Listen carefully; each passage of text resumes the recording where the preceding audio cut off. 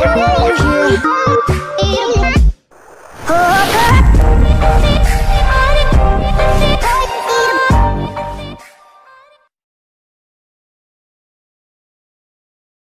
zusammen, willkommen zu einem neuen Video.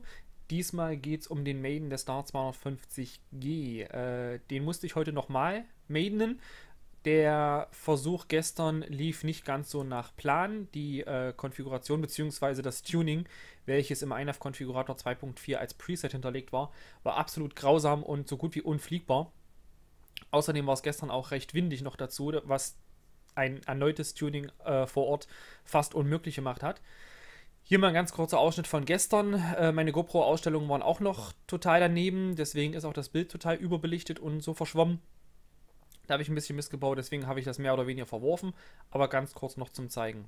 Der Autolaunch hat mit äh, meinen Einstellungen, die ich vorgenommen habe, ganz gut funktioniert, aber man sieht dann gleich äh, im Flug auch ganz gut, dass, dass es absolut schwierig war, das, den Flieger überhaupt in der Luft zu halten, weil auf Pitch auch kaum Kontrollautorität da war. Der Wind war natürlich für den kleinen Flieger mit 250 Gramm auch nicht gerade hilfreich, aber wie man sieht, ist es nicht nur dieses Rumgeschaukel, was durch die Windböen verursacht wurde, sondern auch immer wieder so ein kleines scharfes Twitchen, was er drin hat, weil der Pit-Controller halt einfach übersteuert hat. Also es war auf jeden Fall äh, kein spaßiges Fliegen und auch hier im Position Hold äh, sieht man, wie er wie wild hin und her schaukelt. Und das ging so überhaupt nicht. Also das Ende vom Lied war nachher, weil ich nicht tunen konnte. Ich habe noch ein bisschen mit den äh, Mixer-Settings rumgespielt. Habe den Mixer ein bisschen höher genommen, die Pits ein bisschen runter. Hat auch alles noch nicht so richtig gepasst. Äh, und ein Autotune konnte ich bei den Windverhältnissen sowieso vergessen. Deswegen habe ich dann, äh, ich bin dann noch kurz einen 3S-Akku geflogen, war aber auch nicht viel besser. Und deswegen habe ich dann eingepackt und bin dann gestern wieder nach Hause. Dann kam heute der zweite Flugversuch, diesmal mit meinen selbst eingestellten Mixerwerten, wo ich alle Mixer auf 70% gesetzt habe und meine ein selbst eingestellten Pits. Und ja, Autolaunch funktioniert immer noch tadellos. Bin dann auch direkt mal in den äh, Position Hold gegangen, um zu schauen, wie er sich da erstmal verhält mit dem, was ich eingestellt habe. Und das ging schon mal halbwegs vernünftig. Er war noch ein bisschen instabil, ein bisschen wabbelig. Auf alle Fälle deutlich besser als gestern. Was natürlich auch daran liegt, dass ja noch nichts weiter eingetrimmt ist und die, äh, die PIF-Controller-Werte sind auch nur geschätzte Werte an der Stelle gewesen.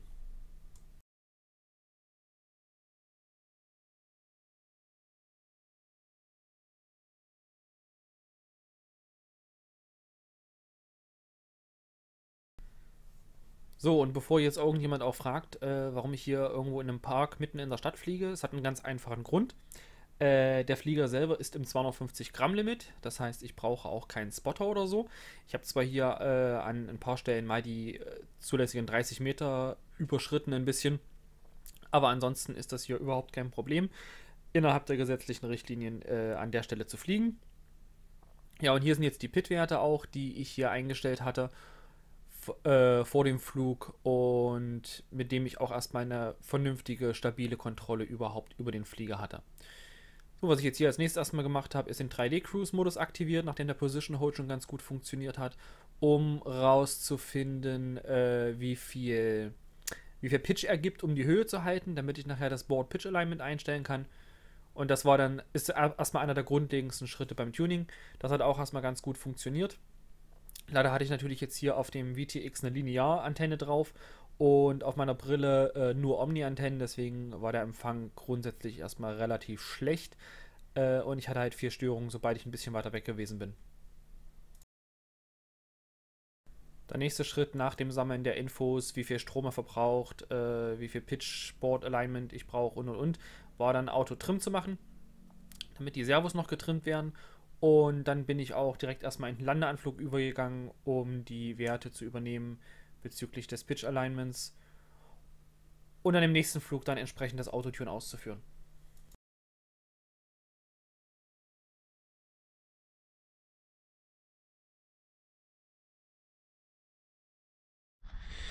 So, der erste Flug war auf jeden Fall jetzt ein voller Erfolg.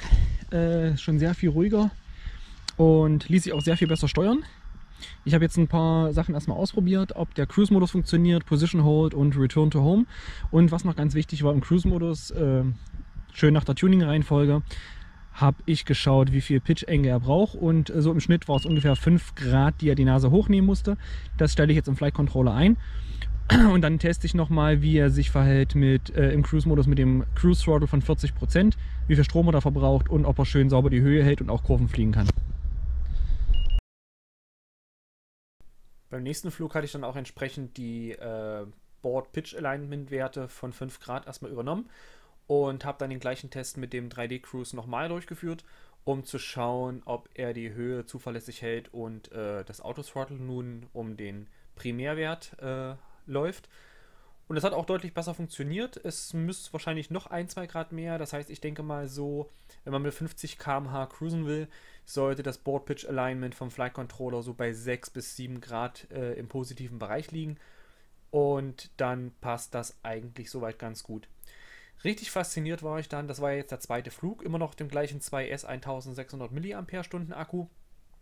Und äh, danach bin ich nach diesem, nach diesem kurzen Test noch ein bisschen Akrobatik geflogen, einfach ein bisschen durch die Gegend geheizt, um zu gucken, wie er sich verhält. Und ich war dann echt erstaunt, als ich in die Werte geschaut habe, jetzt im äh, Endscreen, dass ich an der Stelle gerade mal 630 mAh verbraucht habe. Und der Akku ist immer noch bei ähm, bei 3,8 Volt pro Zelle ungefähr. Das heißt, ich bin gerade mal beim halben Akku und ich bin ungefähr schon 20 Minuten damit geflogen.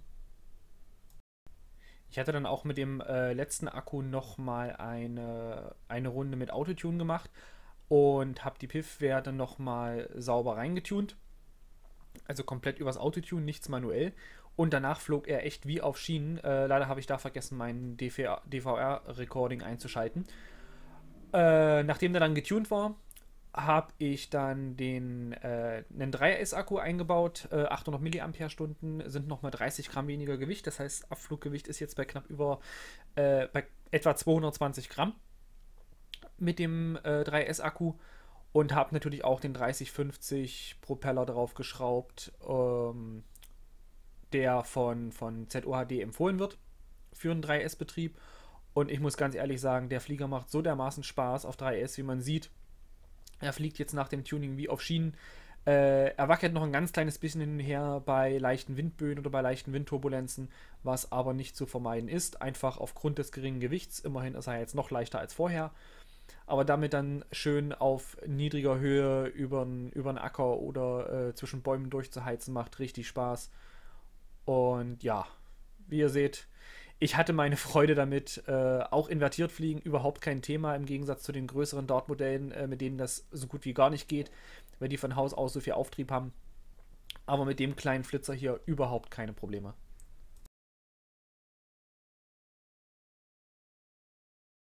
Ja, während jetzt noch ein bisschen der Flug läuft, äh, noch ein paar Gedanken generell zum Dart 250G. Grundsätzlich wirklich ein fantastisch designter Flieger.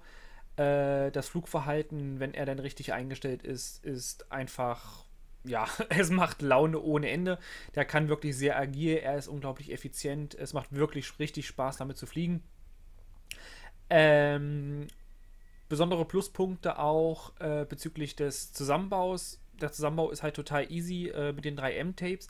Auch die Qualität, die Verarbeitung, äh, wie das Ding ab Werk kommt, gibt es absolut nichts zu meckern. Ich hatte einen kleinen, äh, einen kleinen Marker gefunden.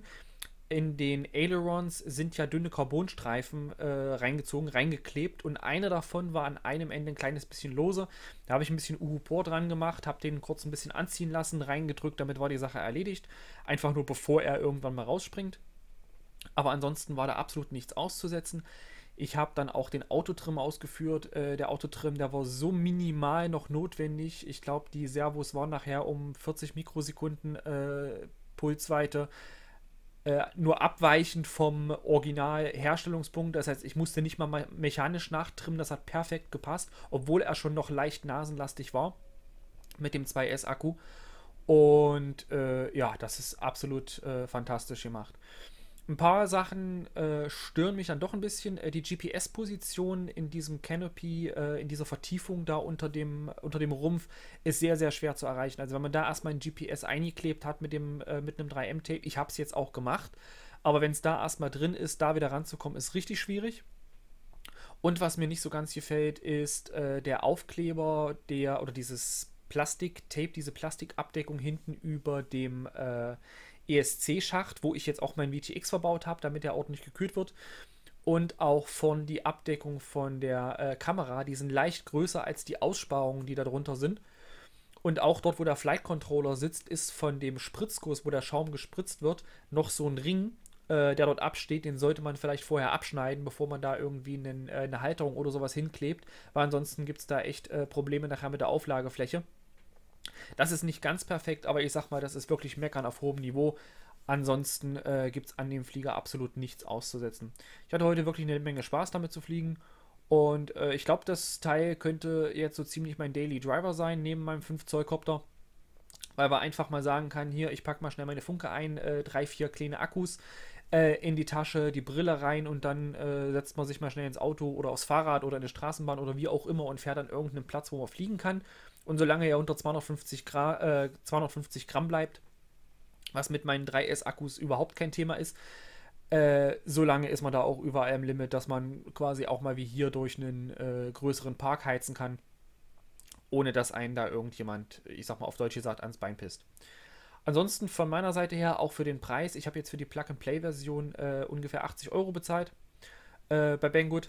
Und da kann man absolut nicht meckern. Der Motor, der dran ist, ist ein qualitativ sehr hochwertiger Sunny Sky Motor. Die äh, Motor die äh, beiden Propeller, die mitgeliefert sind, sind genau darauf abgestimmt, auf 2S oder auf 3S zu fliegen. Wie man sieht, der Stromverbrauch bei Vollgas ist bei beiden Propellern der gleiche. Aber dadurch, dass die Drehzahl bei dem 3S natürlich höher ist, hat man noch ein bisschen mehr Endspeed. Mit 2S hatte ich einen Topspeed von ungefähr äh, knapp 90 km/h im Levelflug oder 85 bis 90 km/h. Mit dem 3S äh, Dreiblatt-Propeller kam ich dann irgendwo bei äh, knapp über 100 km/h Topspeed raus im Levelflug. Und für so einen kleinen Flitzer reicht das ohne Probleme, einfach immer so durch den Park zu heizen. Da will man jetzt keine Highspeed-Rakete. Wobei der äh, Dart 250G das natürlich vom Flügelprofil und äh, von der Windschnittigkeit des Rumpfes her ohne Probleme hinkriegen würde, das Ding mit äh, einem stärkeren Motor auszu äh, auszustatten. Und wenn man da auf einen ordentlichen Akku geht, dann kriegt man da locker 200 Sachen raus. Da bin ich mir hundertprozentig sicher. Der höchste Leistungsverbrauch, den ich hier hatte bei Vollgas, war jetzt mit 3S bei, ich glaube, 80 oder 90 Watt etwa. Der Motor selber ist zulässig bis zu äh, 230 Watt. Und äh, der T-Motor, den ich noch plane dort einzubauen, einfach damit ich auch mal ein bisschen schneller heizen kann und auch mal auf 4S fliegen kann, äh, der ist bis zu 500 Watt geratet äh, auf einem 1507er.